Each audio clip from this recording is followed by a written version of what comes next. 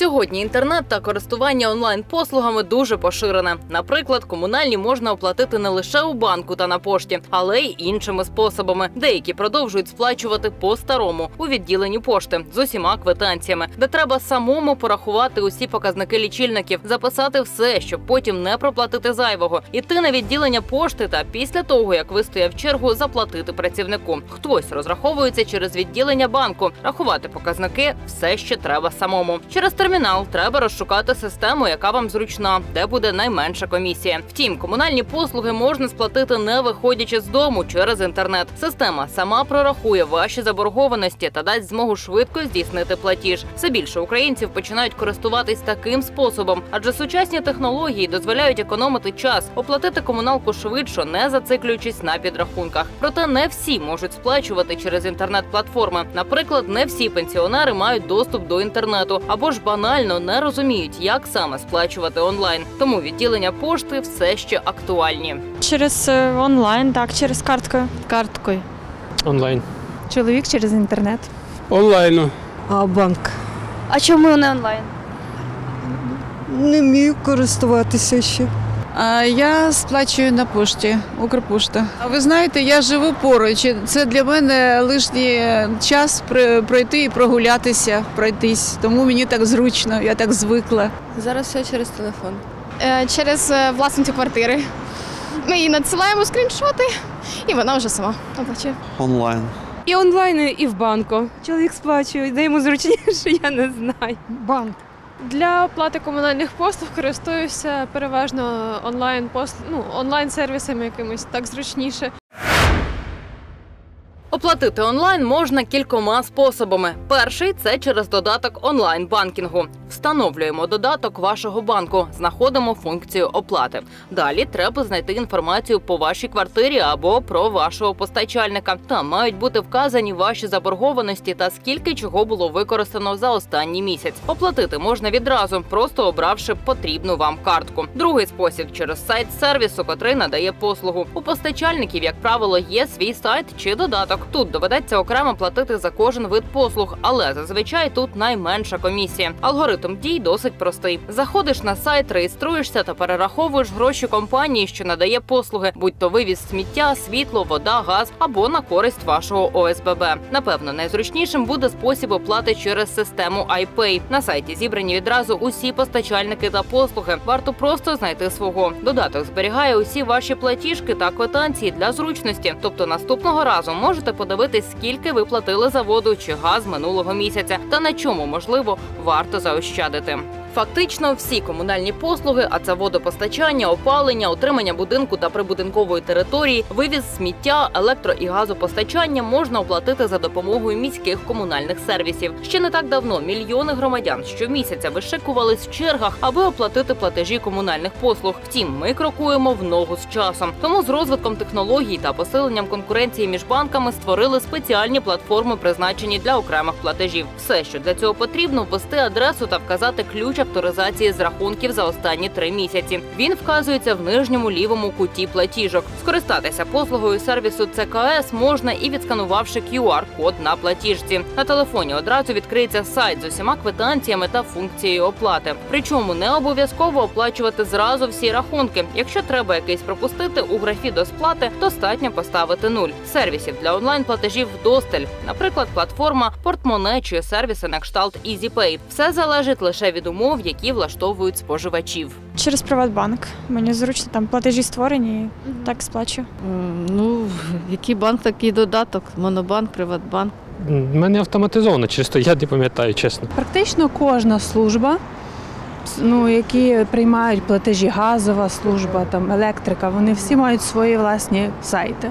Туди заходиш, реєструєшся особистий кабінет і, в принципі, можна сплачувати так. А в інших банках там автоматично підтягуються всі твої платежі по адресу, номеру телефона, по реквізитах. С удовольствием, но все заняты сейчас. Ни сыну, ни времени к этому нету, чтобы меня научить. Я бы с удовольствием. Это же все зависит от того, какой банк, какие, будем говорить, условия и программы в это вкладывает. Да. У мене немає інтернету.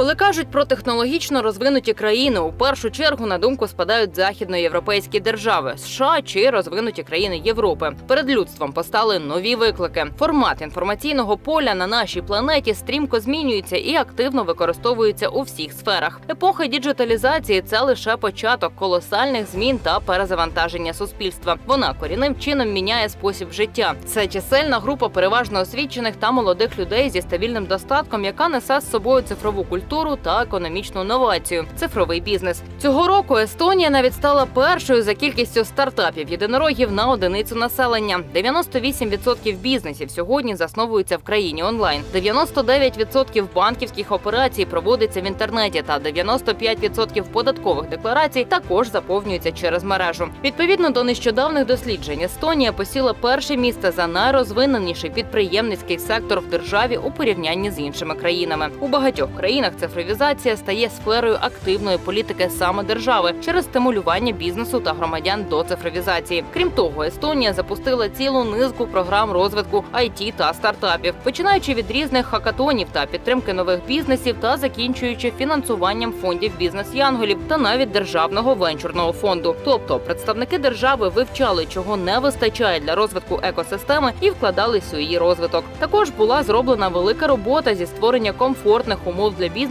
і прозорості для інвесторів.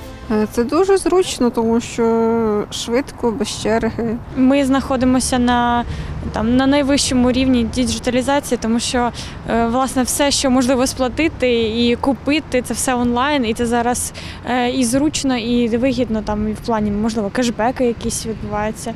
Тому це класно. Того, що це так удобно. Ти собі раз, два і в дамках. Можна з любі покупки, комуналку, все оплатити. Ми йдемо вперед, це добре.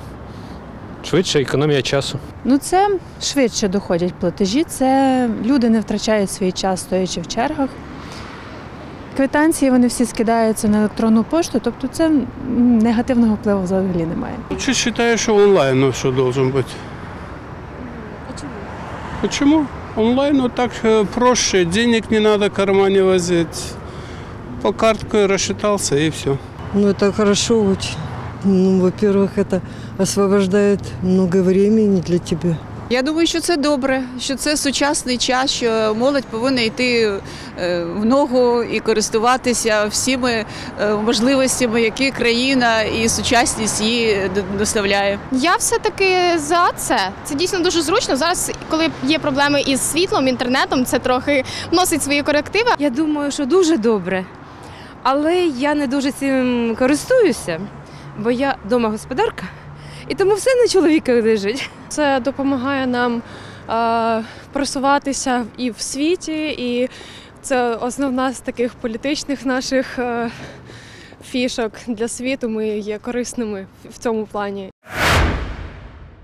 Після того, як Україна пройшла процес диджиталізації, за комунальні послуги стало платити легко, просто та швидко. Оплата онлайн займає кілька хвилин. Навіть не треба виходити з дому. Сплатити можна через смартфон, який майже завжди під рукою. Але і в такому способі є свої недоліки. Найчастіші труднощі, з якими можна зіштовхнутися, це відсутність або некоректність інформації про заборгованість чи дані вашого помешкання. Гаряча лінія може не завжди відповісти швидко, а заявки розглядаються не відразу. Для людей, що не дуже товаришують із технологіями, може бути важкувато знайти правильний розділ та сайт. Також більшість додатків та сервісів стягують комісію за те, що ви оплачуєте, користуючись їхніми послугами. У тому ж Приватбанку також передбачена комісія за оплату комунальних послуг 1% від суми кожної послуги, але не менше однієї гривні. Якщо ж платити саме через Приват 24 то комісія становитиме 1 гривню за кожну послугу, якщо ви маєте договір з отримувачем, або 3 гривні, якщо його немає. А от особливістю оплати через Монобанк, наприклад, є те, що зробити це можна тільки через застосунок. При цьому Монобанк дозволяє проводити оплату більшості комунальних послуг без комісії. Але оплати через інтернет це хороша нагода для шахраїв поцупити ваші гроші. Тому будьте уважні, коли вводите дані своєї картки, переконайтесь, що це офіційний сайт надання послуг. Ще одна проблема у нинішньому житті українців відсутність безперебійного електропостачання. Це часто призводить до того, що ви або платите кілька разів, коли сайт видає помилку, або ж ваші перерахунки навпаки не встигають здійснитись. Також очевидний мінус через інтернет